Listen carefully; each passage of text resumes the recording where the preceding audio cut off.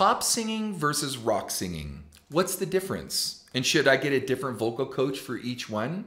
Well, I guess that depends on what kind of pop singing you're talking about, what kind of rock singing you're talking about. I'll get to the vocal coach thing in a second. From a technical standpoint, good singing is good singing. So if you're a good pop singer and you're singing technically well and you're able to, you know, express yourself well and not lose your voice, um, that's one thing. If you're looking to turn up the volume of your voice, which is more like rock singing, and you're not just heaving out vocal vowel sounds out of your throat, that's something completely different. So let me explain. If I was a pop guy and I'm gonna do a lick, and the lick is, yeah, okay, so that's a pop, yeah, that's the pop guy doing. The rock guy's, yeah, right? It's a little louder, it's a little more aggressive, it's a little more distorted, okay? Now, most pop singers, especially today pop singers, they're, they're real like, hey,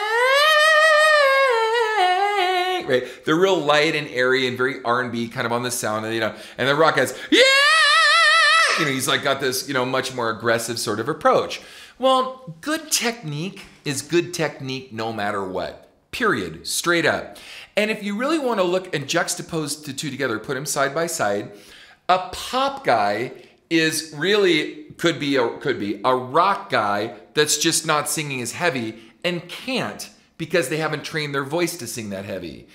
In contrast, a rock guy may not have the same finesse and genteelness or gentleness as the pop guy because he hasn't trained his voice to do that either. So I'm not saying one or eh, another is better, I'm just pointing it out.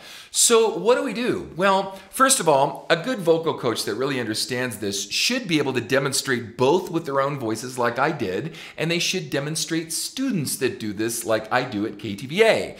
Turns out to be really important because you're only going to be as good as your teacher, your sensei, the guy that you're modeling yourself after, and how they've trained their students. So, let's do something here. Let's just take a, a scale and let's do this. Now, if I were to train a pop singer, and let's say the scale is on an A, and we're gonna go lay,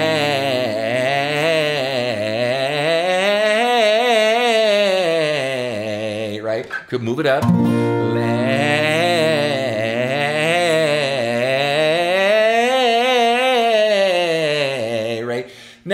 Notice, that kind of singing is a little throaty, it's I don't want to use the word anemic, but a little on the weak side, and I'm not using a lot of strength in the sound, right? But that's kind of what pop is. So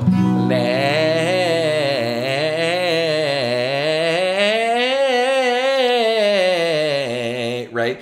Now, if we were training bel canto opera, it'd be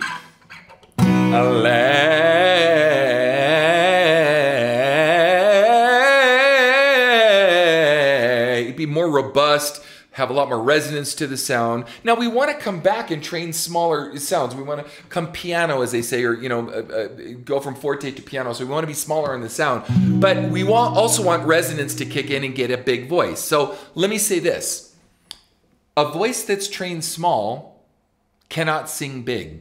It was it didn't build up the muscle structure. But a voice that's been trained big should have also been trained to sing small and can do both.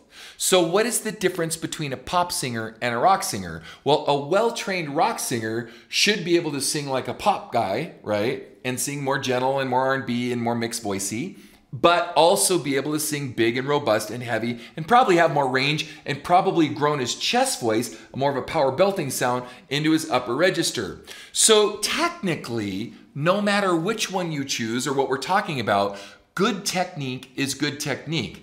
And we start more kind of on the pop sort of side of the coin when we first start to train, if we're doing it correctly. And then if we want, and we want to get into a bigger, more heavy rock sound, we train to heavier, more resonant sounds in order to be able to uh, train and sustain a heavier rock sound. So they're both really kind of equal in one sense as far as the initial starting of the training, but the rock sound is a little more difficult it's a little harder to manage and it's a little harder to maintain with stamina and endurance and longevity of the voice. Okay? Hopefully that was helpful and that is the difference.